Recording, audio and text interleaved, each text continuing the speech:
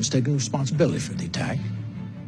And the only real lead we have so far is this sound. I'm gay. I'm lonely. I fucking hate blacks.